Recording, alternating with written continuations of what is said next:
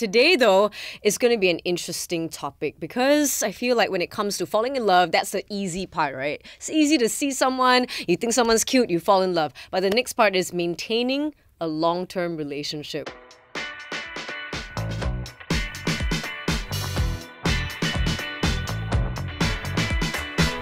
Hey, what's up? It's Sonia. Welcome to another episode of Men Explained. My guest today is a guy that I apparently sort of grew up with. He reminded me about it when we met uh, due to work. Please welcome John. Hello everyone, I'm John from MOSG and Vulcan Post and Gravity Media. I've been with my wife for 13 years this year. Very much in love. At least for me, I don't know about her. For a lot of us, we are very envious also of a relationship like this because some people, even some of my friends, they can spend years traveling, you know, working overseas, mm. meeting tons of people, and yet they just cannot meet the right one. But you mm. feel like you met the one, right? Yeah, for sure, for sure. So, what does the the word loyalty mean to you then?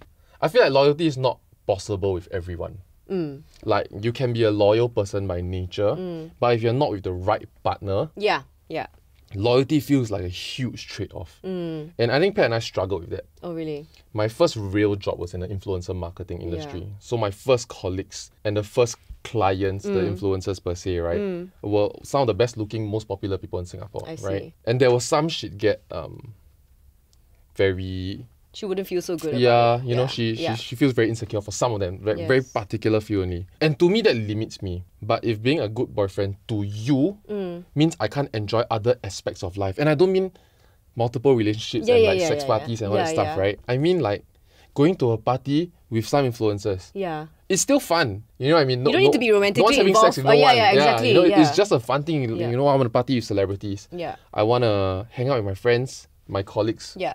for drinks and all that stuff. Yeah. And if that is- becomes a problem for you, Mm. that to you breaches your definition of loyalty, Yeah. then that to me will feel like loyalty to you means hindering my my life. ah. Mm. Yeah. Yeah. And it shouldn't feel that way. Like Correct. relationships shouldn't feel that hard. Have you ever been tempted to cheat on Pat? Or has she ever been tempted to cheat on you? And have you guys had this conversation before? An open conversation?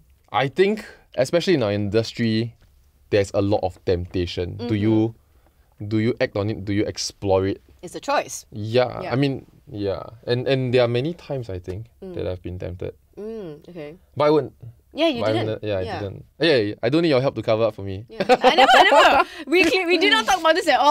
Here's a question as well. Like, if, if, okay, Uh, either one of you decides to be like, hey, you know, I found this person very attractive. Would you be okay if I slept with this person? Would you Oh, ever wow. foresee this conversation? Because sometimes, okay, and I've had this conversation with my friends before where we said, would you rather your partner cheat on you or your partner be open about him or her wanting to sleep with someone else? right.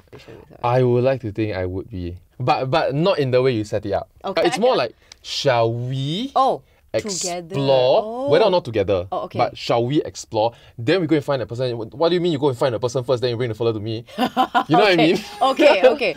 Yeah. I get it. It I has to it. be mentally that stage, that step we make together. Okay, in my experience of one person, Yes. in my vagina life, I want to say that I think loyalty takes both parties, Mm-hmm. right? And loyalty should not mean ownership or slavery. If me being loyal to the other person requires me to sacrifice a lot of elements of my life, why do I want to be loyal?